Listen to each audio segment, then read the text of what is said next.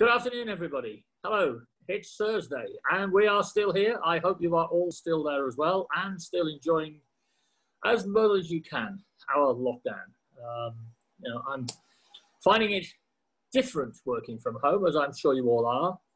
I tend to start early, have a mid morning break for breakfast, uh, and just before I come on air, go and make sure everything's polished, rubbed, and washed. But anyway, it's uh, you don't want to know too much about how I'm doing things. I hope you're doing well. We have heard that uh, yesterday Claire mentioned that one Claire uh, Allen, who was on, I hope you saw that. She mentioned one of her staff uh, has got a mild case of coronavirus. And unfortunately, we also heard from um, Carol Gibson in Devon that one of her branch members has now got it quite seriously. So we'll send everybody our best wishes, and I hope uh, as few people as possible get this and we can get on with being ICB bookkeepers once again. Now, I'm delighted to have back with us today a very popular guest from, oh, probably a couple of weeks ago now, I haven't checked, um, Julia Wedgwood. Julia, Hi, hello. everyone. Hi. Hi. Julia, as you know, she doesn't need me to blow a trumpet, but I will do anyway. She, she's uh, the winner of a Luker Award for being hmm an outstanding personality. Uh, so I think everybody probably knows Julia anyway. Uh, she, she is part of the Big Green Sage. And so uh, most of our members are completely conversant with Sage because at one stage during their, their dim and distant class, they, they mainly learnt on Sage. And we still have a huge tranche of people working on Sage either with clients or uh, for themselves. So it's good to have you back with, you, with us, Julia. A um, few new announcements over the last 24 hours, some a bit confusing, others not. But I know that um, Sage, uh, well, Sage have got some good news for us about the things that they, they're providing for us to help us through. So uh, I'll let you have a go at that first, if you would. And I understand some of it's free. Yes, sage and free in the same sentence doesn't it mightn't be something that everyone's always used to hearing, but there are a number of um, great developments. So if you or any of your clients use Sage 50 Payroll, we will be releasing a new tool next week called the Job Retention tool. And what that does is that will assess your workforce It'll allow you to identify the pay elements that you're using. So, for example, you can include overtime, the certain elements that you can't include, and that will create a so you'll determine the staff that have been furloughed. It'll do the assessment, do the calculation of the 80% entitlement over the given time period. So we now know it can go back it can extend further than um, 28th of March, so it goes to the 9th, 28th of Feb, goes to the 19th of March. And you can use that report, it'll generate letters to clients, i.e., employees, and it will also provide you with a report that allows you to go on to HMRC's portal and make that claim. So it's got everything you need as a bookkeeper that allows you to go on and record the information. Unfortunately, HMRC, unless you've got 100 employees or more, doesn't allow you to upload any files. It is a keying exercise. I've seen lots of discussions on the forums about this. At the moment, it provides you with that report so you can sit with that and key in the information, but you've got it all at hand without having to go anywhere to get the necessary information. Can I just ask you a question Julia? Sorry, um, I was mm. distracted slightly there because uh, Carol, uh, I mentioned Carol Gibson and our, our member from her branch that isn't doing very well. She's just come on to say, just to let you know, that the member has recovered, still struggling and breathing. And this is a typical bit, but back at work. So that, that's nice to be bookkeeper for you. You know, they never give up. They are looking after their clients. And they're not going to let hmm. a bit of co-virus, um, coronavirus get in their way, which is something. Um, just going back to what you were saying, there was an announcement made yesterday. I think you've just covered it, but I'm sorry if I missed it. Mm. Um, that the um, furloughing was going to be backdated so that people who had just joined a company, and this was a problem, would actually now be able to join. But um, it's only for a short period, isn't it? It's, so it, it is a relief yeah. for some people. They feel part of the crack, if not necessarily mm. all of it. But I use, and it's one of the queries I was discussing it with Jacquie Mount this morning. It's one of she wasn't quite sure. She's getting mixed information. So if you on if you've laid somebody off because they joined after the 28th, mm. are we mm. right in saying you now re-employ them and then you can put them back on the payroll? You yeah, depending on where where where your processing was to. The important, yeah, yeah. The important thing is, is they have been employed and paid, i.e., appeared on a HMRC submission. Right to the 19th of March. So it all depends on how businesses pay the staff, etc. So if they're in arrears, they still may not meet that criteria. Right. So if you've if you've um, marked someone as leave, we've got articles that tell you how you would deal with those those those members of staff. But I think if there's new people come into the business, so it's a new starter, equally, someone joined, on the 1st of March and have been paid, receive, I appeared on a RTI submission up until the 19th of March, they will be included in that assessment period. Great. Um, so they've already processed, presuming that person was going to be laid off. Do they rerun the payroll or do they tag them onto the next run? Um, if in, in, in, the, in the case of this tool, this tool um, you it it'll you will select the employees. So these are the employees that have been furloughed, yeah, irrespective, and you put in the date range. So look through what those employees have been paid during that time. With payroll, you have different pay, pay elements. Everyone's set's different. Every different, yeah. Salaried or whatever. So depending on what your pay elements are, you would select the relevant ones and then it'll do the calculation based on that and the employer's contribution so you've got the right information to input when you when you submit to HMRC in the tool you'll be able to see um, what the calculations are so if there's queries historically or there's errors corrected we know there's details to be surfaced about corrections to submissions as it stands today but on this, the, the tool that sits on, on Sage 50 payroll, you'll be able to see what's been claimed for, pre, what's been generated previously to submit in a return. Brilliant. Um, I think it sounded like a, a huge opening, but as I say, it's not quite. Mm. So, and, and again, uh, ICB members, just to stress, it is supposed to be for people who are genuine employees. So mm. if somebody is trying to get the husband or wife or three kids and auntie on the payroll and they think this is now an extra ability to do that, just please make sure that it is a it is an ongoing job. And I think when the audit comes through of all this, if people suddenly join the payroll and drop off in three months' time and go back to their normal day job, somebody somewhere is going to pick this up. And uh, we so we don't want to be part of that as members.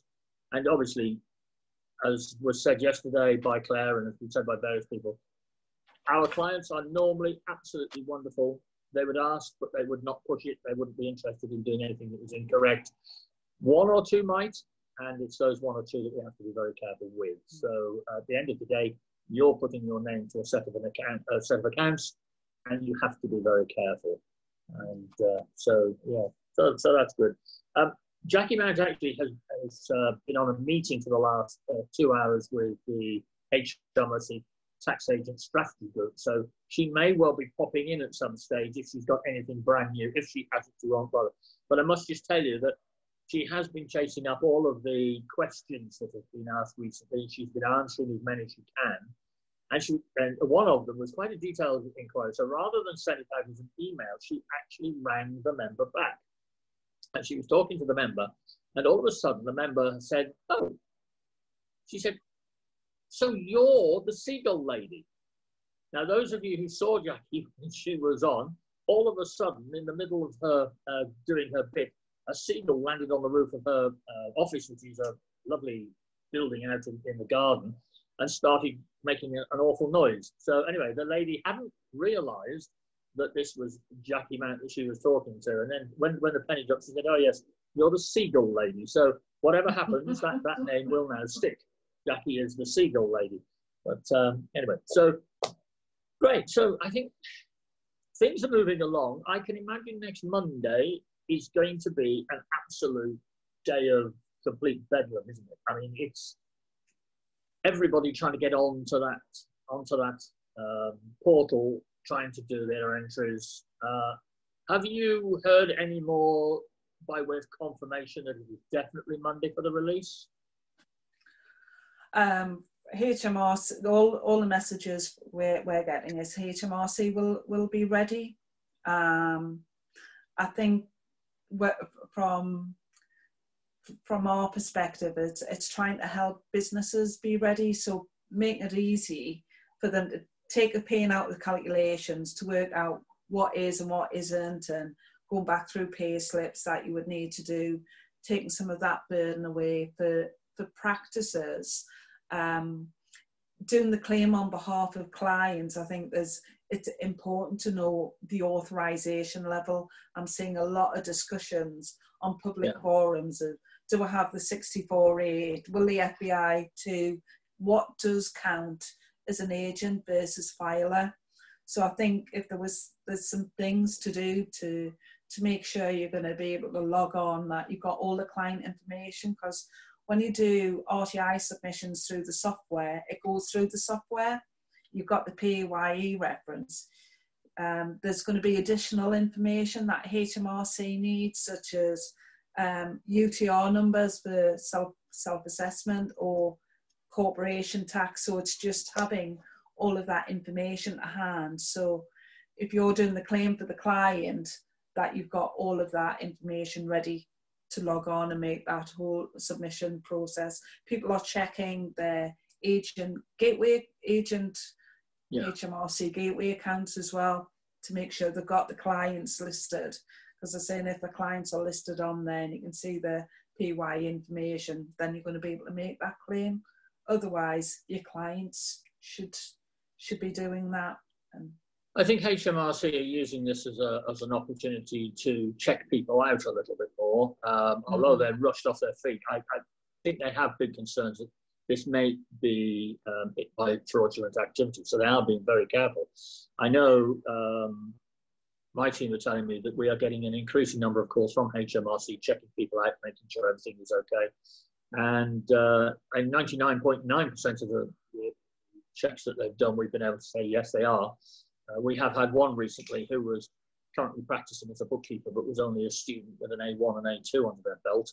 Uh, so unfortunately, we had to say no, they were not qualified to be offering uh, mm. tax advice.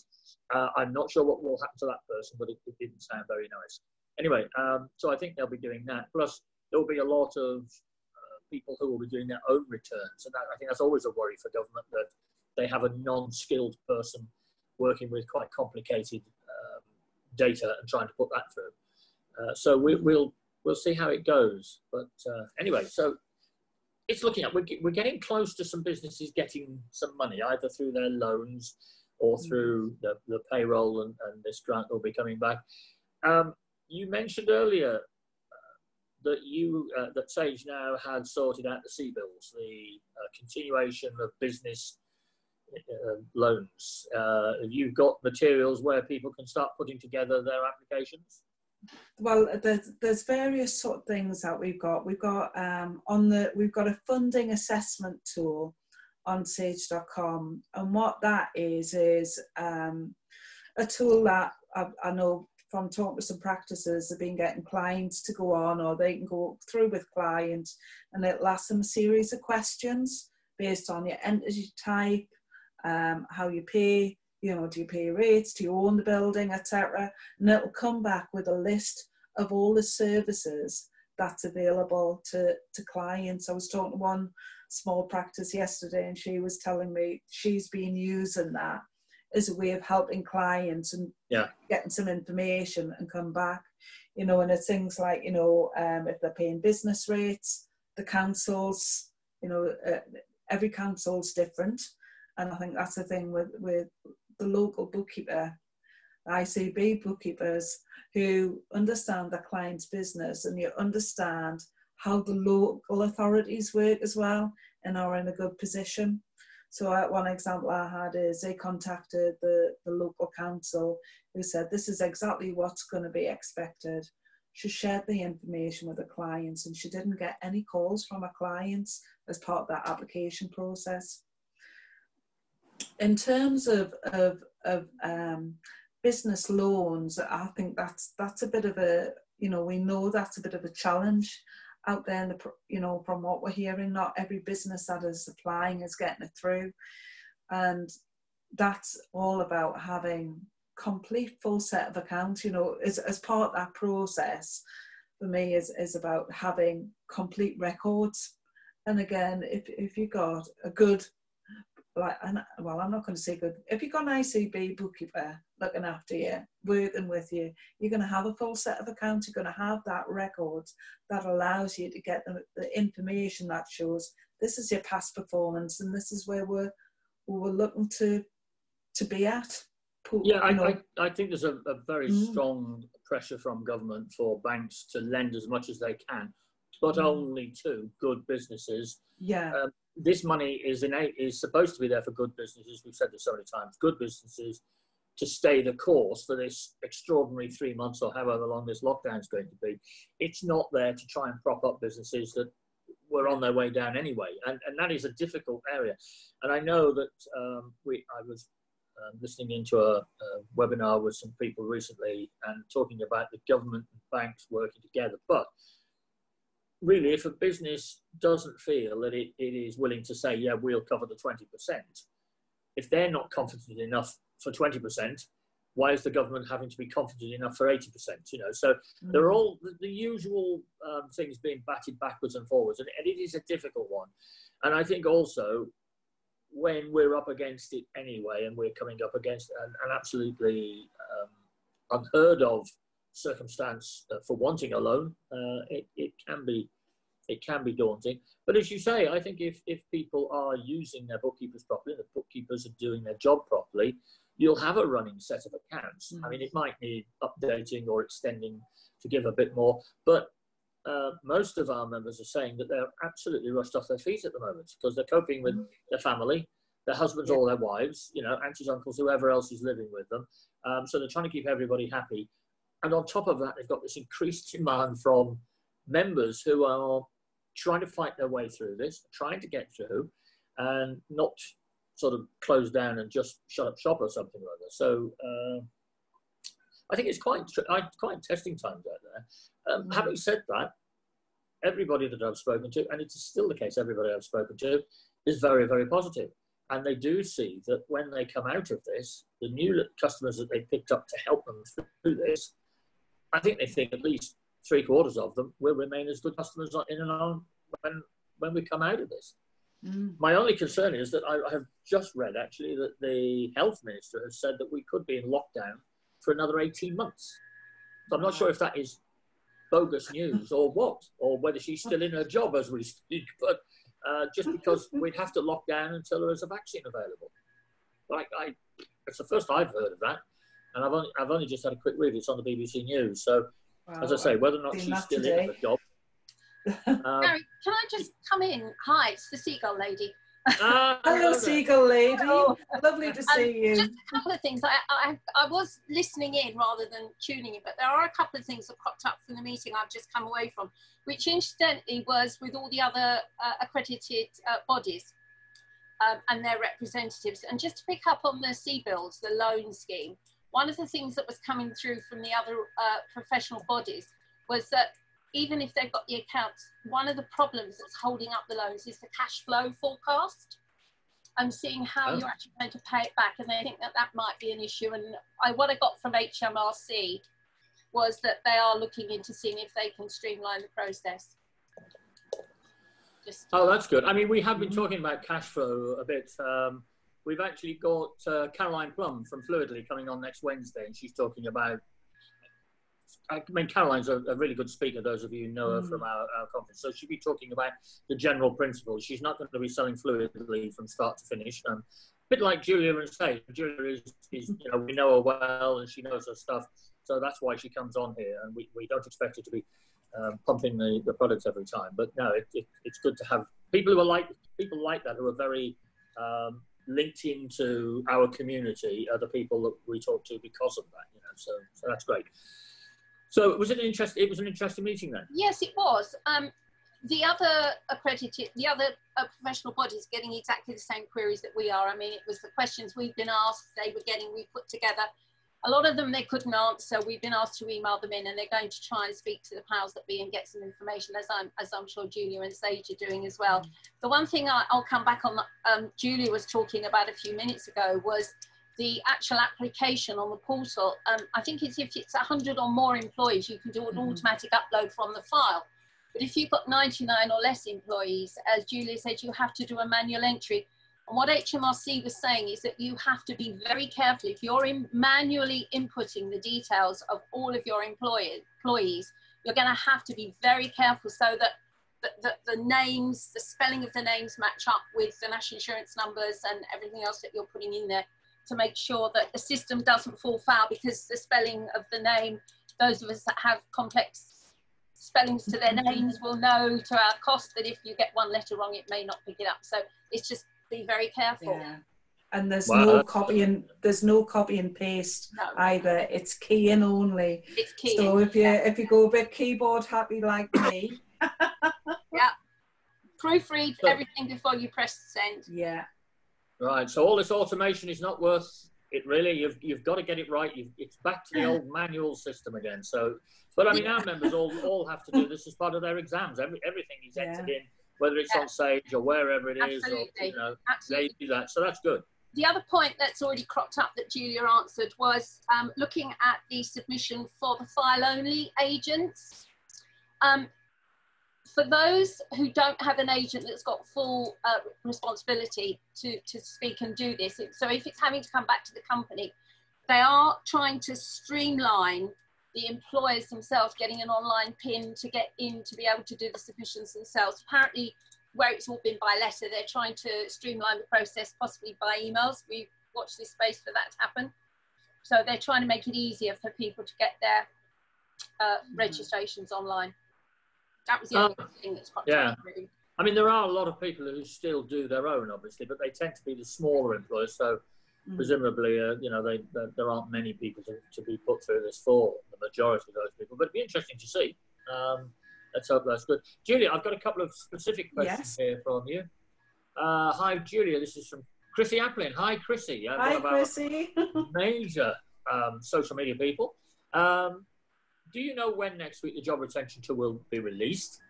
One of my clients who uses Sage Payroll need their monthly payroll run on Tuesday the 21st and they furloughed staff. Do you think it might be available by then? Um, I'll be honest with you, we're hoping to be ready with HMRC because um, we're still waiting to clarify a couple of aspects so, um, and our developers are working hard. If it's not on the 20th, it'll be shortly after. I know you've got um, clients who are furloughing on the 21st. You would process that payroll as normal. As soon as the tool's available, you log on and you gen- well download the, the tool, run the report, select the employees, and that will generate all the information that you need to sit and key in so you can start the process.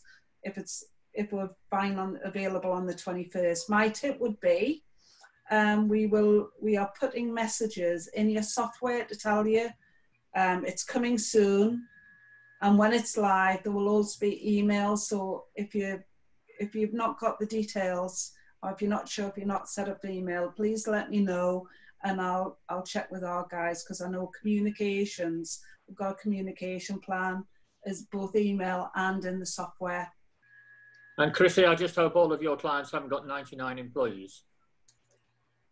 So you've got to enter every single one. Um, another one here from Linda. One of my clients has furloughed staff mid-month. So in next month's payroll, they will be paying uh, part full pay and part furlough pay. Will the Sage job retention tool be able to pro rata to cope with this? Um, I will come back to you on how that works if I can get the details of the individual because um, it's based on a date range. So it all depends on what period they fall in. So if it's part of the period, you would, you know, it all depends on how that's being processed and how that's being set up. So I'll get one of our payroll experts onto that if that's okay. And if anyone okay. wants to see the tool in action, from Monday next week, the web, if you go just go on to sage.com, go on to accountant bookkeepers webinars, the tool is actually being shown shown there. I thought we had a webinar tomorrow. We don't, but we do have them set up for every day for the next two weeks. So you can see it in action and there'll also, also be a quick 10 minute demo video as well. Okay, well, that's good. Well, that was, that was Pam. Pam, I hope that helped. If not, um, you you've just heard about the, yeah. the free demo, but um, make a mention of that, and we will we'll be looking at all of these questions anyway to be answered. Yeah, yeah. Um, can, uh, this is from Lisa Phipps. Please, can I check my understanding before I report back to the client, please? If someone started on the 27th of February, February payroll ran on the 26th of February, so their first RTI was the 26th of March. Are these now ineligible for furlough on the basis that an RTI wasn't sent with their details before the 19th of March. Same for an employee who started on the 15th of March and paid the 26th of March, please. I don't know if Jacquie, if you're still around, if you heard yeah. that one. Um, I think the guidance on the HM, if you look on the uh, employer's details on the HMRC COVID-19 web page, it is quite specific that if you have not had an RTI submission made by the 19th of March, you are not eligible to claim any furlough payments for them. I raised this at the meeting and they're going to try and come back uh, with an answer, but they, the people I was that were on the meeting have got to go and refer to a higher authority, shall we say. But no, well, if, if the RTI has not been made by the 19th of uh, March, it is quite specific that these people cannot be furloughed. Mm. Right. Estate agents are saying their commission is compulsory and should be included as part of the basic pay for average earnings. So, will the SAGE tool include commission pay elements within the assessment? Um, it it it'll include what elements you tell it to include. That's what I thought. We if you put you have to put it in correctly to get it out correctly. Yes. Yeah, yeah. So it all depends on how you set your pay payroll elements. So, for example, overtime could be a valid so if you've got a pay element that's called overtime, then that is there. And because you've got all of the the reports and the software to support that, if there's any queries, you can go back and demonstrate the yeah. makeup payroll because that's what HMRC will not be familiar with. I think yeah. we were talking about the commission payments last week um, or the week before, and, and I think we'd agreed between ourselves that if the commission is part of your contracted income and is regular, then it's included. And HMRC did confirm that if it's sort of like a one-off commission, which you yeah. don't normally get, then it's not included for your furloughed pay. Mm-hmm. It has to be regular regular income rather than basic pay. Originally, it came out as basic pay, but it's one of those details that they've changed once, as we've said in week one of this, HMRC were getting a huge amount of information out and everybody's been feeding back into the system and it's been amended nearly every day. And they have now changed it to cover regular contracted income.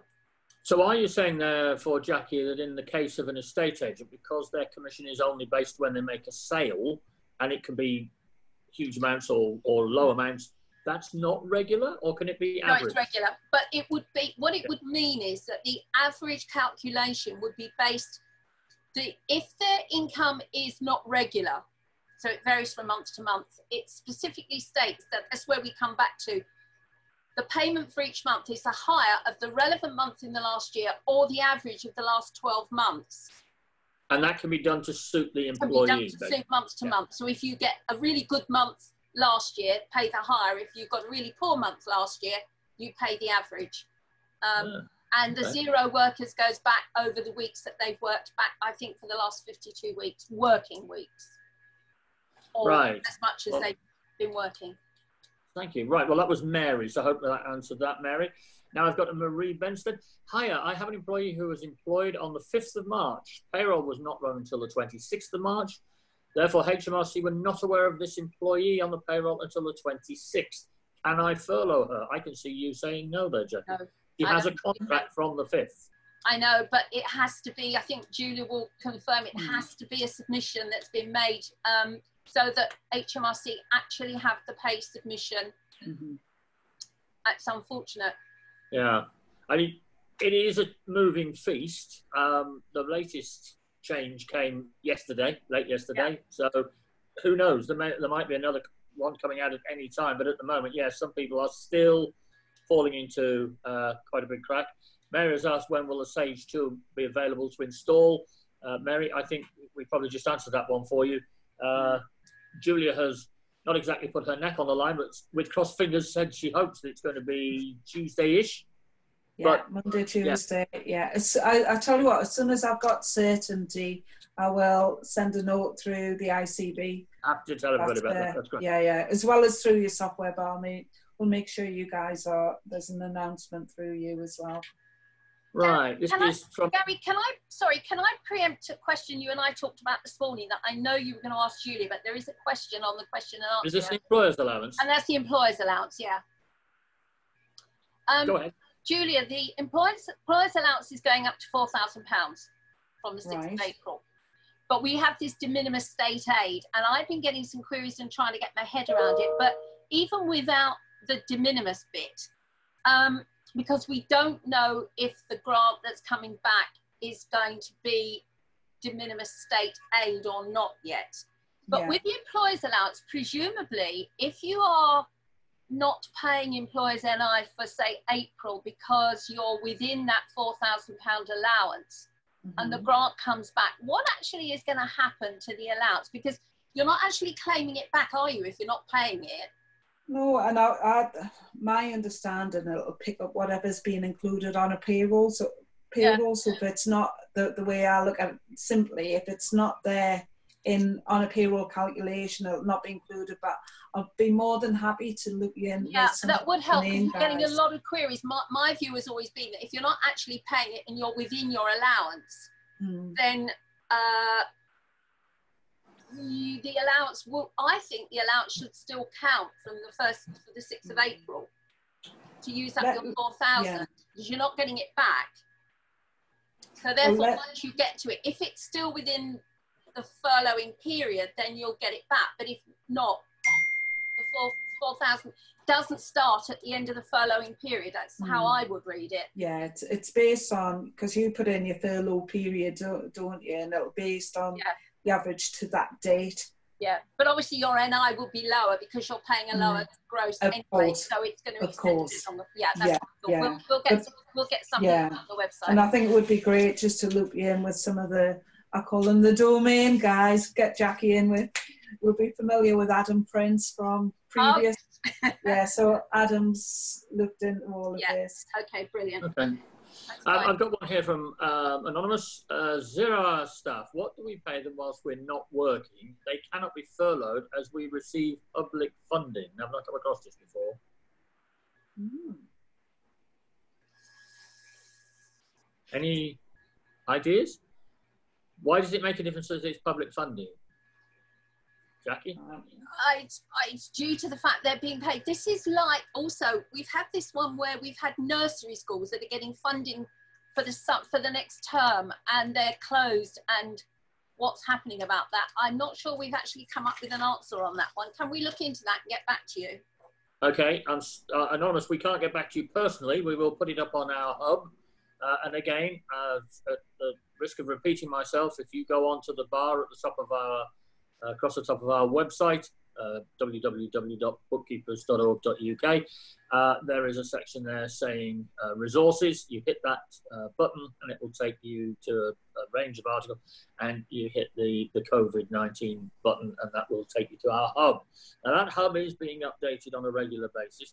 I have to um, say that we found recently a batch of questions that we think came from the first or second of these that we ran right back feels like a year ago now, but a long time ago. And some people are only just getting responses. And, you know, I apologize for that. We're not quite sure why. It's not a huge number. Uh, but Paul Ingram, for example, Paul, if you are listening, um, your question was caught in one of those banks. Actually, the question you asked, I think, was answered live anyway on the program. I remember Jacquie answering it, so so hopefully that was okay.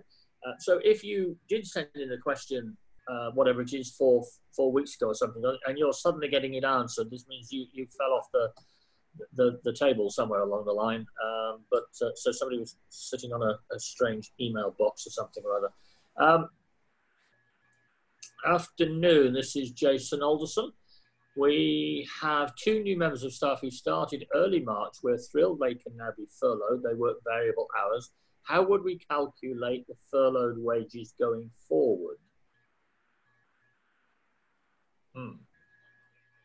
Well, sorry. Are they not on a fixed fixed salary? You said that. Sorry, I was reading the one that's coming from Chrissy with my name on it. So sorry. Can you, which one, Garry? Uh, this is the one from Jason Alderson, which is just after the one about public funding. Afternoon, with two members of staff who started early March. We're thrilled they can now be furloughed. They work variable hours.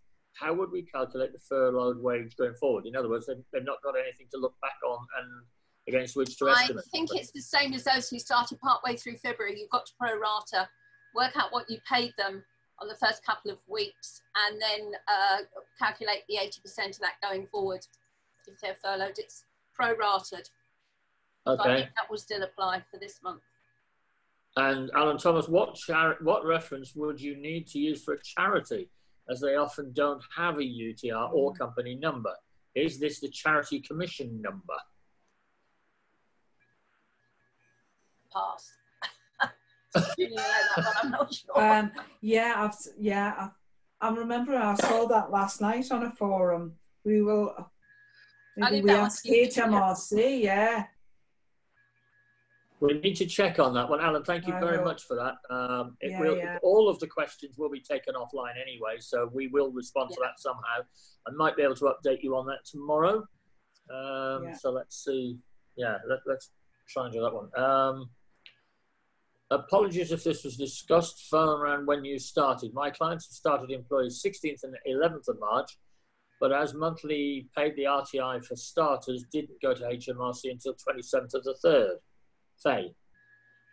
Yeah, no, I think that answers the one before. I think it's it, they're going to fall through the gaps again at the moment.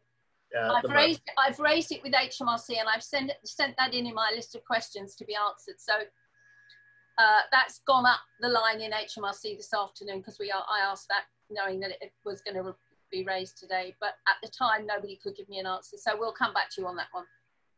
But Snell, I had to provide, right. Um, Jay Snell, I had to provide a two-year cash flow forecast to assist a client with their loan application, which was nearly impossible. Use of float linked to uh, accounts did help, but feels very unreasonable to need this in the current circumstances. Um, yeah, the problem is that we're giving away billions as a country, and there has to be some sort of control. Um, you know, companies that are geared up to do this are probably likely to be more professional companies, companies that are good companies, and it's an easy um, win-win if you can do it. I think, but that's what you're there for, Jay. Good, good for you. Let's let's hope uh, your client gets the money that they're after. Employment allowance. Do you have to use this for the months of April and May, and therefore not claim? I think this is what we've just covered, isn't it, Jacquie? This is Heather Fitton. So she's talking about yeah. We at the moment we're saying you we don't think you can claim for something you're not paying. So the employment allowance allowance goes in first, and then uh, that you, you don't claim for it again uh, hold this allowance until the next. Or can you hold this allowance for to use yeah. later in the year? Forward. Yeah, I mean, this is another bit of that black and white information that comes out grey, isn't it? Really? Yeah, absolutely, absolutely. Um, Chrissy's just put one in up to me. Julia might be able to answer this one. I'm sure it's been covered before. For zero-hour contract employees, should holiday pay be included when calculating the 12 month average? Mm, that's a technical one. I'll have to phone a friend. Yeah, I think our view is that It should be because Mm. otherwise they would be working, and that that holiday Yeah. pay has been based on the average of their last. Well, it would, would have been then 12 weeks. It's now 52 Yeah. working weeks. I'm making a note of these. Yeah. Yeah, my, yeah, that I- would be great. I believe that is the case. I think I think we'd already had that clear with I think it was with Claire when she was on, just saying uh, um, Claire Warner. That is not not Claire Allen. We've had two Claires, too many Claires. Uh, yeah. So uh, yeah, I think that I think that's what they were saying because it's trying not to not pay people what they deserve to get. It's just trying to make sure that we don't pay people what they're not they're not supposed to get. Um, Anna says, can you confirm with the new 19th of March furlough date? I have a client who employed someone from the 2nd of March and has submitted the first payroll on the 30th of March. Can they now be furloughed? Is that Say that again, Uh, employed on the 2nd of March, went into the first payroll on the 30th of March? Can they now be furloughed? That's a new 30th. employee. No, not No. not as it stands at the moment. This is a slightly smaller group of people, but the group of people that are still falling in through the gap. Okay. Chrissy Applin, by the way, has said thank you, Julia. Uh, we've got You're. Jules. See? BIB here. Oh, Jules. Hi, Jules. This is Bucky's in Buckingham. I was trying to work it out. Oh, what- hello, Jules. Hi, Julie. How are you doing? Hello, Julia. If we have to run payrolls before the tool is available, would you advise that we set up new pay elements and manually calculate the 80% for the time they are furloughed? If employer Um, is topping up to 100%. They are suggesting pay elements, I believe. What I'll do is I will get you the there's Ask Sage articles on there now. So process the payroll following the Ask Sage articles. The furlough calculation tool, you will select the pay, pay element, so it will calculate 80% of that. So whatever pay element you're using, do it that way. So if you're topping using the pay element to do the top up, to 100% create new P element for the top up element, if that makes sense. But I will get you the the Ask Sage article. Okay. I've got one here from the bookkeeping something. Um, unfortunately, I'm not getting the full name because it's quite a long question. How about employees, brackets directors, who are on the annual payroll scheme? RTI and everything filed at the end of April for the 2019-20 year. The employees have been included in earlier years also on the annual scheme. Can they be furloughed? Mm. I would say yes because Yeah. they were on the payroll and they have got a payroll submission under RTI within the date. Mhm. The fact that they only pay themselves once a year uh, doesn't matter. They they would use the last payment Yeah. as their average. Um, I As long as it's PAYE pay, then it's okay, isn't it? yeah, yeah, they've been they're on the system and they've been, if it was the first year, then that would be a different matter. But if they've been on the scheme for a while, then I think if Julia agrees, it will Mhm. count. You've just got to work out what it is and follow Yeah. the normal furloughing rules for a director.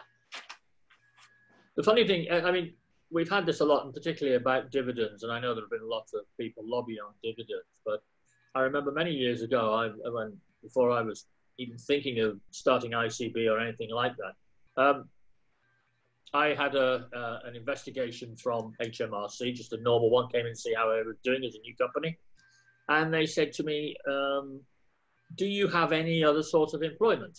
Because I, I was employed by my company, obviously. Uh, I said no. So they made me sign a form to say no. And as soon as I signed it, they said, well, what about your dividends? I said, well, that's my company. They said, no, you're, that's different. So that it brought very home, home very quickly to me that the dividend payments are completely different Mm. to what you pay yourself as an employee. So you're treated partly as an employee and then completely different as a shareholder. And um, we're getting this question a lot at the moment from our members saying that they're- they're getting a lot of pressure from their clients to say, well, look, it's my company, I'm paying myself, etc., etc. So that hasn't changed yet, has it? It is n- dividends just do not come into it. No, and it is actually in the HMRC guidance that dividends are not included. Uh, Yeah. Uh, so anyway, we I think we've got that. Bev has, can we just go back? Bev's just put a question up about, uh, again, about paying staff. Bev Arnold. Hi, Bev. Um, if a seasonal business employed staff at the start of March and RTI submissions were made on the 6th, 13th, and the 20th, and then closed, can they now re-employ furlough? The answer to that is yes, you can, because they you have got an RTI submission, so that's fine. Take them back on. Uh, And, Bev uh, Arnold here. Yeah, Have you seen the one from Bev Arnold? It's a seasonal thirty-one. business- Yeah, that's the one I've yeah I've just seen That's that one, Garry. So that one's fine. Right. Okay. Chrissy Applin, yes, you're not taking enough notice. It Uh, has been yeah, we've done yeah, um, yeah, it's all it's all included. It's, uh, I mean, you have to put the case forward as the bookkeeper. If it look, if it's obvious uh, that it's it's proper, it looks uh, a reasonable um, uh, claim, then I, I think that's it. So the holidays we've said have to be included in that certainly. Um, are Guernsey and the Isle of Man within the EU for state aid de minimis rules? I have a charity who receives large grants from both of these. Sylvia, uh, I need to check on that because Guernsey and the Isle of Man both fall out of our Mm. money laundering regulations, for example. They have their own rules. Um, so, have you got any experience of Guernsey or the Isle of Man, Jacquie? Got anything hidden over there? at we all. don't No, I, I saw that one. I can't, I can't answer that one. We're going to have to have a look. All right, Sylvia, we will look into that and we will put that on the hub. Um, and if I get a definitive answer, I'll try and mention that tomorrow. Kat, can I attempt to make a claim for furlough pay for both March and April next week for my employers? Most of them are running their April payrolls next week. Any answer, Jacquie? Well, Oh, actually, think- I think probably Julia. we've been able to pay furloughed Mhm. workers during the March payroll runs Yeah. anyway. So, and you can't claim it back till next month. So if you run your April payroll as normal, presumably when the, the portal opens, you claim whatever you've paid up to that date. I think a lot Yeah. of questions are going to be answered when we can get access to the portal.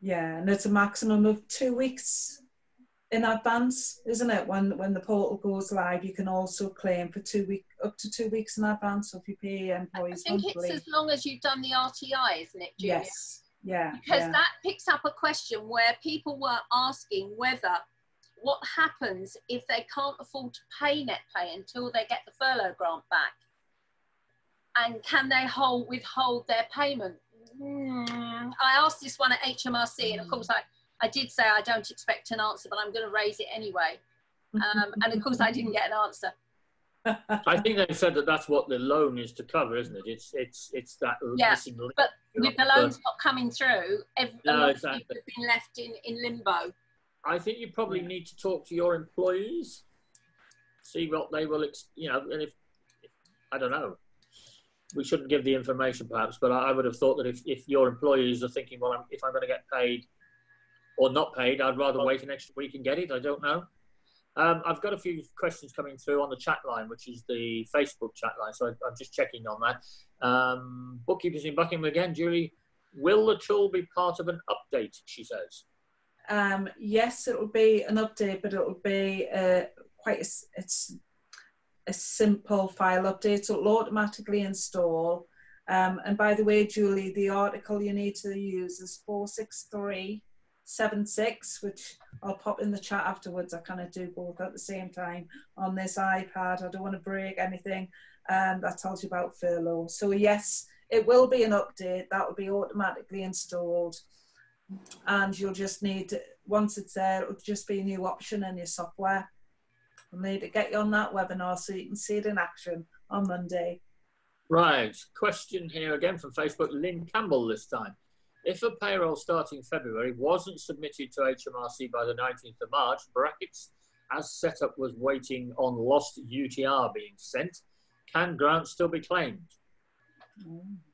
If it's legitimate, do you reckon, Jacquie, or sorry say that again I, um, it, the payroll starting February wasn't submitted to HMRC by the 19th of March because they were waiting for a lost UTR to be resent.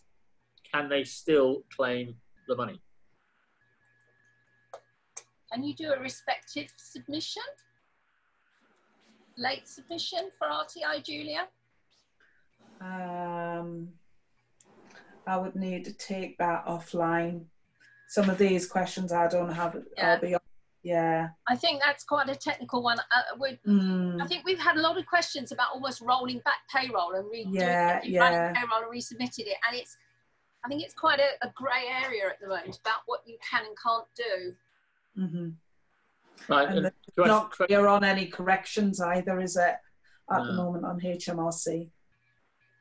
Uh, Kevin Jarvis has asked a question here, which we've already been asked, which is about uh, people who are paying themselves uh, an annual um, amount of money, and we think that they can be furloughed and they work. You know, if it's an annual fee, it doesn't matter as long as they were paid last year. You, you can work it out on that, can't you? Mm. As long as they were on the team on the on the uh, staff by then. And Carol Shipley, hello, Carol. Um, if you have limited agent payroll status for a client, will you be able to do their claim for furloughed wages? Is that a no, Jacquie? So, uh, depends what they mean by limited. Mm. The file only people can't. Right. Uh, So it has to be That on their, um, their on their clients. Well, their clients would have to do it basically. The client You can still instruct them. I mean, you can put it on a spreadsheet what they've got to put in, and the client will I just have to type it up. Yeah. Is that it? Yeah. Okay, I hope that helps, Carol. Uh, Gian Drury, how often would you claim for a weekly paid employee? Would it be every week or can you claim in advance? Isn't it every three? Well, it's a minimum of three weeks, isn't it, Mhm. Julia? I don't. Yeah, yeah. I, have we actually ascertained how often you can apply for the furlough grant? I I'm not 100% sure, but I know you can. Oh, well, like my understanding is up to two weeks in advance. Yeah, So the portal goes live, and I, I think a lot of these Mm, questions will be will answered be when the answered, portal's yeah. open and we've logged in and we see exactly what we, we what what the sort of questions are and how often you can do it. Carol Shipley has said FBI2. Anybody any idea what that means? yeah, it's, it's a filing authorization Mm. on. So she's got an FBI2, uh, right? So is that good That enough? should be sufficient. My understanding is that right, Jacquie? Um, I'd have to look up exactly what that covers, but we would hope so. PAYE and CIS. Yeah, I think so. I mean, if you Filing. can deal with HMRC or you file your clients as an agent, then Mm. yes, you can do it. It's only those who have this file only, which I have to say is new to me. I'm sorry, Yeah. but it is. Um, that you can't actually, because you don't have access to all the information, do you, that you need to do Yeah. the, grant, the grant application? What what I've seen on on the forums, um, suggestions from from others is to go into your HMRC and see what your your your gateway agent gateway account and see what you can see for your clients. If you can see all of the details of the clients, that should be sufficient.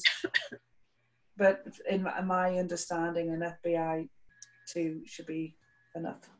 So answers pack. How far have you got down the questions, Jacquie? Because I've just Yeah, I've got a couple. out of, I've uh, got a couple coming in on the question and answer. Uh, Susan Lang, hi Susan, hello from sunny Hi, Newcastle. Susan. Hello, Susan. Oh, she's, up, she's up by you. Um, if an employee is told to take holiday, the employer can't include this in the furlough claim, can they? Well, I think the answer to that is no, they can't, because if they're on holiday, they're not available to work, so they can't be furloughed.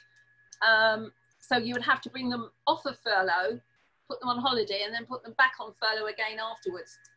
We have had this um, discussion about whether they can force people to go on holiday rather than furlough them. Because, of course, everybody's building up a lot of holiday, which is going to be taken at some future date. Have you heard anything more on that, Julia? Um, I haven't heard anything from it other than the employer has to agree everything with their employees, and if Yeah. they feel that that is good for the business, it's whether or not they can get get the agreement. On the on the positive side, the people will at least get an extra twenty percent salary. Mm, But uh, yeah, it, lose a week's holiday, so and they have to hold their Yeah. holidays for goodness how long. yeah. Um, and uh, yeah, it, it is a difficult one, isn't it?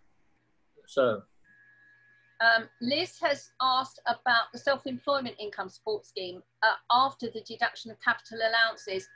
Um, I agree that it's quite difficult, this one. Um, I, we did discuss this at the meeting this afternoon because, for example, if you are a London cabbie, a black London, a London black cabbie driver, um, you're being you're having to buy if you're changing your vehicle you have to now buy an electric vehicle which hmm. costs mm. upwards of 40,000 pounds or more and they're being claimed back as capital allowances and reducing the amount of taxable profit that you can therefore claim um, I agree with you it seems to be very hard we've raised it um, we're waiting for a confirmation answer back but as it stands at the moment it's the taxable profit after capital allowances so after all reliefs and allowances. Right. Okay. Um, that question, by the way, did you mention the one question I had from Susan Lang that you've just answered? The other one about yeah, that's the holiday one about yeah. taking holiday. Yeah. Hi, Susan. Good. Good to see you on with us. Um, and I've done Lisa. We're down to employed income support scheme, trading income. Yeah, that's it. That was Liz Edge. That's great. Uh, Helen. Sorry, I'm trying to read through the questions before I, I read something which shouldn't be up there, or I get it, make sure I get it right. Full at the end of the month. Refurloughing it halfway through. Have you answered this one from Helen? If uh, so no, I was just reading it. Yeah, it's quite a long one. Uh, uh, halfway, I'll leave you deal with Mary, the one below that. With the yeah, will dividends qualify as profits for the self-employment income support? No, no.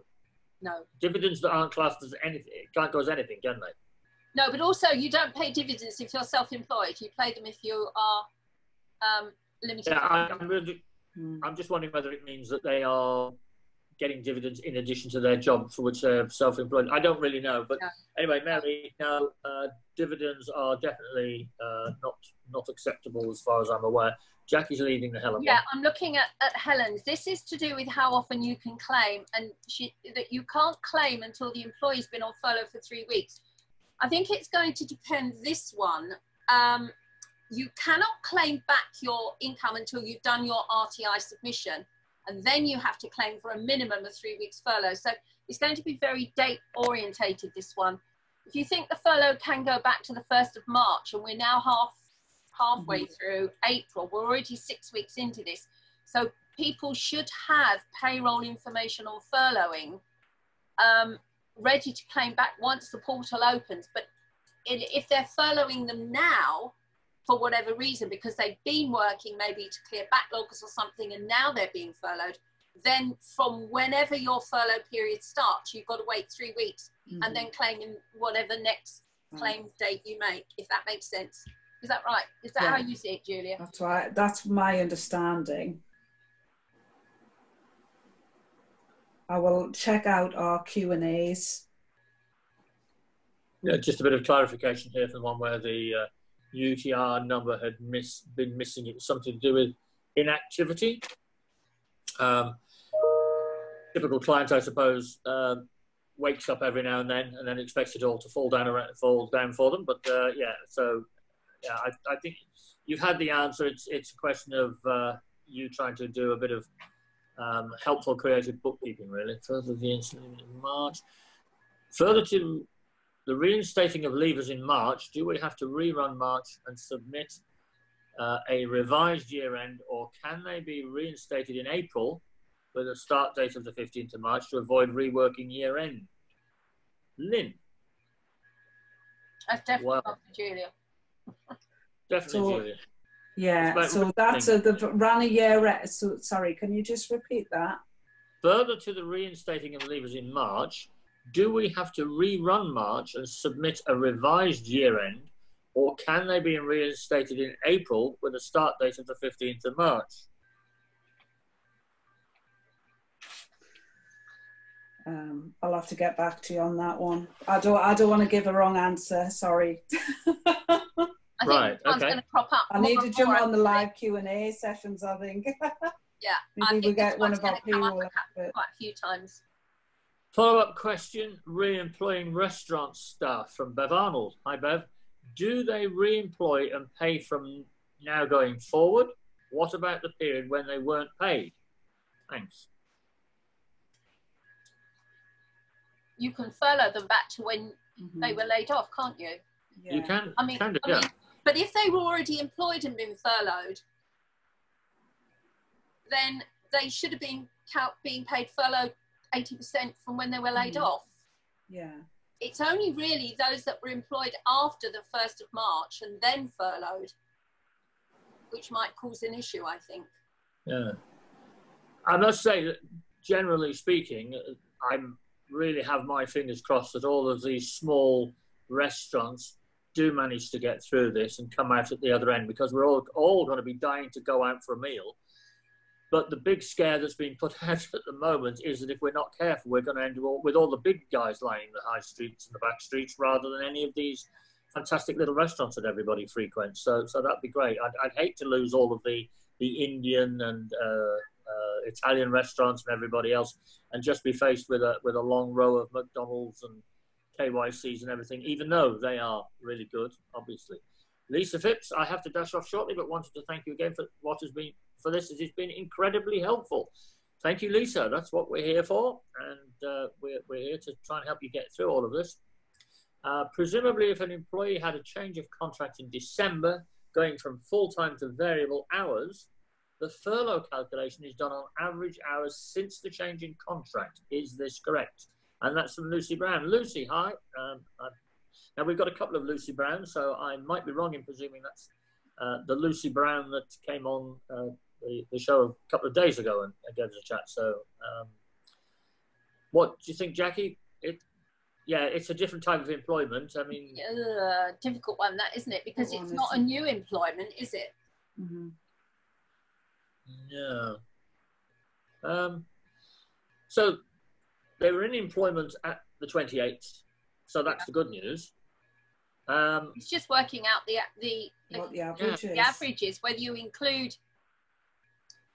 I mean, it's like the zero hours workers, isn't it? Because mm. some of these are going to actually, I, we, we said this the other week, almost seem to be better off under furloughing because they're getting the same amount every week, whereas otherwise they may or may not be working. Yeah. And that might just be one where because of the nature of it, if you take the average over the 12 months because it is a variable, I or think you take February, no, it's variable hours, so it, it follows the variable hours calculation. I mean, I, I, suppose you have to take into consideration why there are variable hours. It could be at their request, it could be at the employer's request. We mm. don't know. Um, but I think as a, a really good bookkeeper, which I know Lucy Brown you are, mm-hmm. I think probably you have to say you have to try and work out what you think this person is expected to earn during the year ahead. I mean, I presume you've done a cash flow at some stage, or somebody has, and, and um, you have to be able to justify your decision. If, if you feel hand on heart that you can do that, I don't think there will be much of a comeback. Mm. But automatically assuming that they're going to be earning the same as they did when they were in full time employment, you know, I I don't know. I think I think that might be a bit risky. Um, I think we've just got to be realistic and as close as we can to getting this right. Nicola Payne, hi Nicola. Uh, you can apply once every pay period, so it depends on your payroll. Oh, that was my comment about I'm not sure how often you can claim or you can apply. So the question I've got um, some insight from my colleagues who've been working on this is um, HMRC haven't yet confirmed how often you can claim. So that's, I think it's, as Jacquie says, when the system goes live, more Yeah. information. And we don't know yet what time it's going live on the 20th if it does. So it may be, we may be inundated with questions if it's at nine o'clock in the morning. Let's hope that it's five o'clock in the evening so we at least get So uh, Mary's just said, I heard an employment lawyer on LBC, Daniel Barnett, said that the employer can state when the holiday is to be taken. Thank you, Mary. The only thing is, I'm not quite sure whether you're. We know that the employer has the decision power if staff are working from home but are still fully employed. Uh, was the information this morning that that is also the case if people are being furloughed? I think I think that's where we're uh, we have a, a, slight difference of opinion there. Faye has said, couldn't the employer pay off holiday pay and reduce the annual entitlement? Like to say, top up the 80% furlough pay again, I think that's probably the same one. I, I think we need to get a bit clearer advice on that first. So before we give you too much, but hello again. The thing is, if they're Um, on holiday, I don't think it's it's not furlough, so you would pay them their full holiday wage Yeah. and then refurlough them again when they come back from holiday. Susan Lang's back on. Thank you for the answer. Uh, that's what I thought too. Ah, jolly good. At least we're getting a, a consensus there. What should you do if you know that a company is asking employees to take Yeah. holidays and you think that they might be trying to claim furlough at the same time? Um, well, that's fraudulent, Susan, and I'm afraid Yeah. uh, you either decline the offer or um, uh, decline the instruction rather, or, or yeah, you, you have to report that to HMRC if you believe it's going to happen and somebody is going to do it in your absence. I mean, yeah, absolutely. My client's employees were furloughed as at the 16th of March, so I can't claim under until the end of April. Is that right? Says Claire.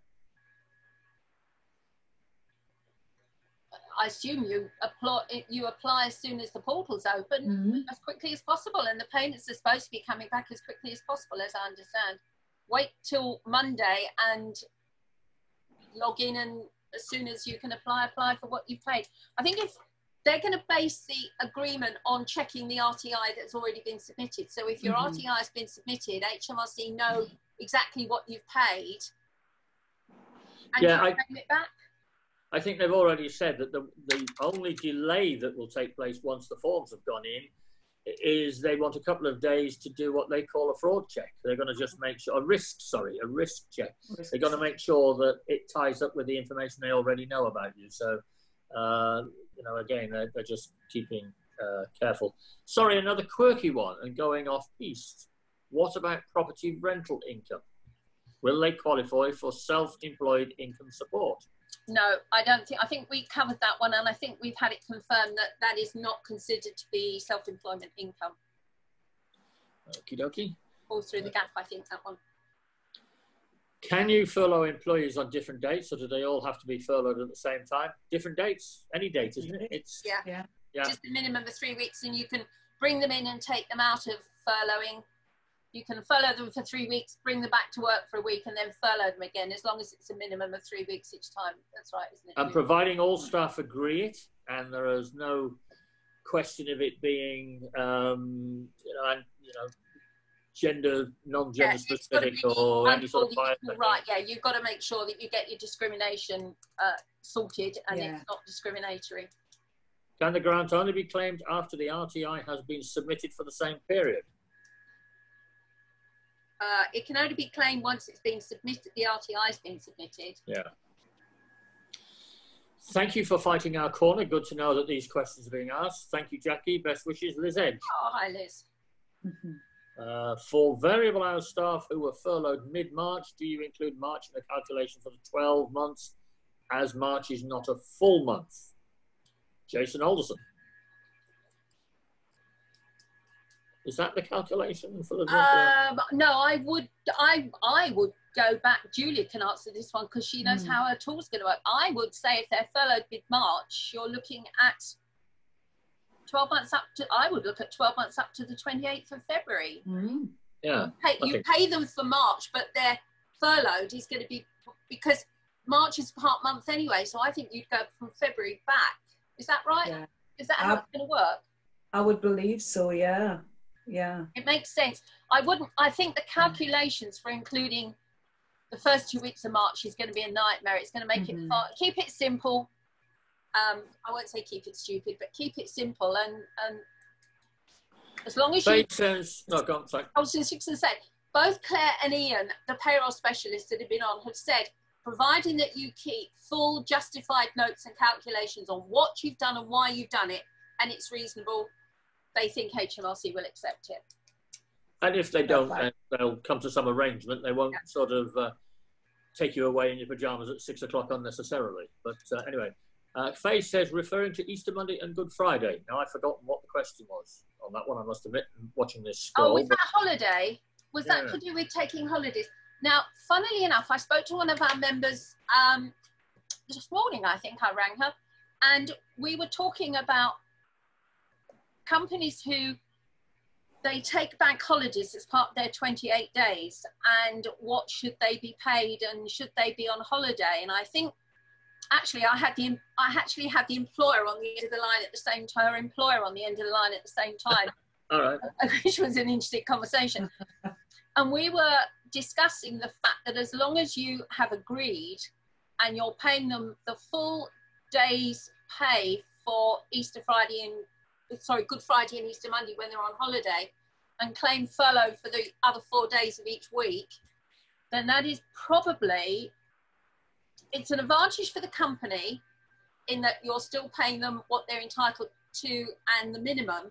And also it's not carrying forward the bank holidays into the next two mm-hmm. years for holidays. But I think it's got to be done in agreement. This is probably where this lawyer said they can state when they take their holidays. So if your contract states you get 20 done, days plus yeah. eight days bank holiday, then Friday and Monday are holiday days for everybody. They should be paid the full amount. You can't claim furlough back, and you need to watch it because the furlough has to be a minimum of three weeks. Mm. Wow. Yeah. ACAS advisory holidays and bank holidays does not take following into account and is open to interpretation, says Helen. I Such a lot of information is. Yeah, I Mm. looked on the ACAS website this morning, funny enough, to try and send some information, a link off to someone, and decided it was less than helpful in this current situation. Furloughing directors. A financial services client has a monthly commission, passive income, from customers. The director phones their customer just to say hello and let them know that they haven't been forgotten, generally give them some love, but not to upsell. If our client did not do this, then the customer may go elsewhere and our client would not be working in the best interest of the company and not fulfilling statutory duties. Uh, can our client still phone the customers to retain them? I don't think that's covered by statutory duties, is it? Statutory duties is filings, isn't it, basically? Yeah, but actually, uh, funny enough, I have the sections in the Companies Act that we were talking about. Sections 171 to 178 of the Companies Act details what you can and can't do. I haven't had a chance to look it up yet, but I've got it on my piece of paper. So Um, we'll work that one out because you obviously we have a fun life, Jacquie. Yeah, it's what you can't do is income generation work. But is that income generation or even protecting income?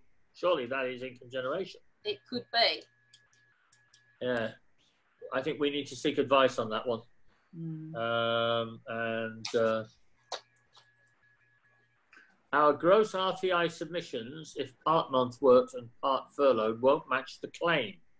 Assume as long as only furlough claimed on portal, all good. Are you with that one? Our gross RTI submissions, if part month worked Yeah, and part That's furloughed. because won't half of it's been paid and half of it's been Mhm. furloughed. Yeah. Yeah.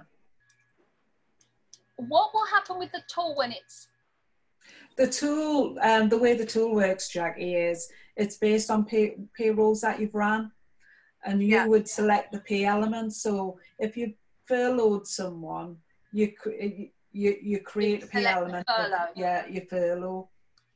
So therefore if you're and if you and if upload part way through, yeah so Yeah, if your yeah. uploads automatically for a larger Mhm. company it will you select it and it will do the correct submission if you're doing it manually Mhm. presumably if they do come back and do an audit if what you're claiming you can see from the payroll Yes. details that it's Yeah, yeah. the furloughed element then yeah, that's yeah. fine you will be doing that. And even if you've got more than 100 employees, it generates a file. It doesn't pull straight from software. You have a soft, we have to generate a file that would be, need to be uploaded. But you, Right. you would have a full view of what you you've submitted yeah and the calculations. Claire has come back to say, but RTI was submitted at the end of March, so it's only two weeks of furlough. Next RTI will be submitted at the end of April. I thought that might be why I have to wait. Uh, you might have to because it's only Yeah. two weeks of furlough Mhm. it has Um, to be a minimum of three Jason Alderson, hi Jason, has come on to say re-rental income rules specifically reference trading income, so would uh, rental income would be precluded. That's the interpretation there from Jason. Uh, Paul Ingram, um, thank you for this afternoon. I have another webinar, webinar meeting now. Our life is becoming full of webinars, isn't it? You know, Mhm. it's coping with them all. You know, it's worse than trying to fit proper meetings into a diary. I think. Anyway, Paul, it was nice nice to see you around, um, and uh, hope to catch up with you face to face at some stage.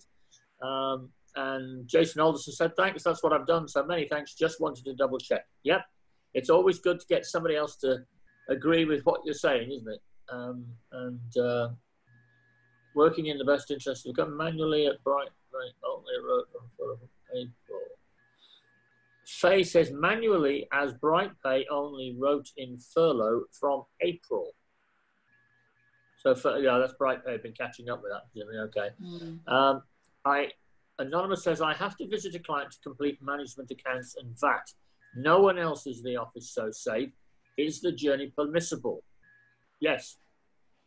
I mean, some people haven't actually left work, have they? They've just mm-hmm. um, been told they've got to be careful, and mm. where the work cannot be done elsewhere, you can go they, um, they mm-hmm. should do it elsewhere. But uh, whoever anonymous is, um, you you need to think about uh, getting yourself into the cloud uh, if you can. I mean, some employers don't like people taking um, payroll information out of the office. So I, I, can understand some of that. But no, as, as far as I'm aware, there is nothing to stop you doing that. But please be careful. Um, you know, make sure nobody is around and uh, just uh, make sure you, you keep your distance, as they say. Um, okay, so trying to keep a customer is probably regarded as income generation. Thank you. Um, I mean, it's a difficult one to be honest with you because um, I know some people are doing webinars with their uh, clients, etc., etc. I'd like to take try and see if we can find a bit yeah. better information on that. But I will go back and email my contacts at HMRC mm. on that one and see if. Uh, but I've got a funny feeling it's it's to do with company law and what what is and is not allowed. So we'll try. We'll come back to you. Yeah. Um, thank you very much. Thank you very much for answering my not very well worded questions, Claire. Claire, we didn't even notice, and by the time I've read them out, they are completely different anyway. But anyway, um, if you are calculating qualifying earnings for pension reclaimable, is it based on 2019-20 or 2021? Another one from Jules at Bib, bookkeepers in Oh, Jules, you're asking hard questions. Yeah, I know. She's like that. These um, fellows. qualifying earnings for pension. That's going to be based. Is that going to be based on 2021? Because the qualifying earnings no, is, is, is above the lower. The qualifying earnings is above the lower earnings threshold. Mm. So it's what you put through your payroll. So I have a yeah. funny feeling it's going to be 2021. Jules, we need to get you on the live Q and A for accountants and bookkeepers on on Sage. It's got a lot of people who will get you the, the information. yeah. Uh, right. Okay. Uh, where are we now? Thank you, Garry, Jacquie, and Julia. Really helpful. I've got to go as I've got a client call to return, but really appreciate all your help. Thank you. Stay safe, Chrissy Applin. Right. Chrissy, Chrissy. has left the room. Uh, thank you also for the bookkeeping. I don't know what the rest of that is. I need to try and see if we can find that somehow. As the bookkeeping uh, team. I can't see the questions on the panel. Is there a way to activate this, please? No, we hold on to we we keep the questions at the moment. They're all being answered. Trust me. Um, and uh, yeah, that's that's just the way we write because there are so many of you looking at this. We don't want to start throwing this out to too many. Um, if my client wants her employees to take 10 days holiday in April and she will pay 100% for these, can it be included in the furlough claim or not? Well, I think that's the one we're trying to chase up, isn't it, really, yeah. about furloughed employees. If, if they're working from home, well, if you're going to pay, yeah, I see. No, I think we better check on that one. I don't know what you think. Uh, Jane says you've mentioned creating a pay element for furloughed employees, which is fine from April payroll. But what about March payroll that has already been processed without the pay element for furlough? As I'll double check, my belief is part of the assessment tool. When you run the assessment tool, you pick the P elements for for it to do the calculation. So last in the first couple of weeks, we were advising to Mm. separate out furlough pay Yeah, anyway, yeah, weren't we? So yeah. you could see what was paid, what was earned income, as it were, and what is furloughed income. So